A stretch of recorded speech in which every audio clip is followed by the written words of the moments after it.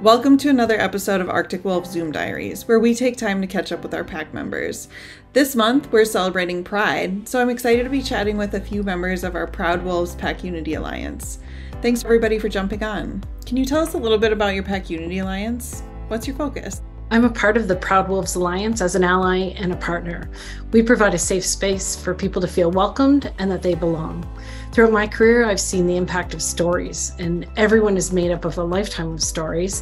And I love hearing and learning from their experiences, and it gives me knowledge to lift up my colleagues. Since it's Pride, it makes sense to ask what are you most proud of?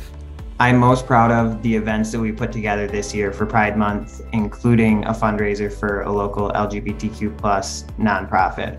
With Proud Wolves, I am most proud of how Arctic Wolf is really trying to create an inclusive and engaging environment for all of its employees. What inspires you to take part in Pack Unity? As the father of a gay child, I see the discrimination that happens every day through her eyes. It makes it, it very difficult to be a parent. I think the, the piece that inspires me the most is this prospect of us being able to build a community where people feel more comfortable, where they are more free from the, that type of discrimination, and uh, can really have others around them that support them. I really love the opportunity to get to know my my colleagues and, and other employees within Pack Unity. In particular, with Proud Wolves, we have a Slack channel where people share you know things about their life. I can share things about my life, and it just makes me feel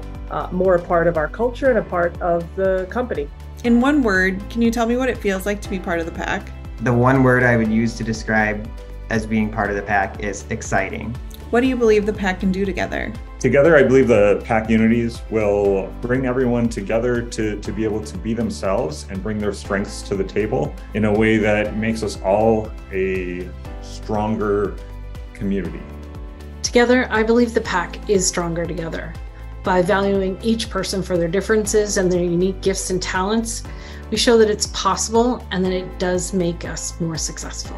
Thanks again to all of our panelists for joining today, and we want to wish you a happy Pride from Arctic Wolf. If you want to learn more about joining the pack, you can visit arcticwolf.com/careers or click the link in the bio below. Who knows, you might be next to join the pack.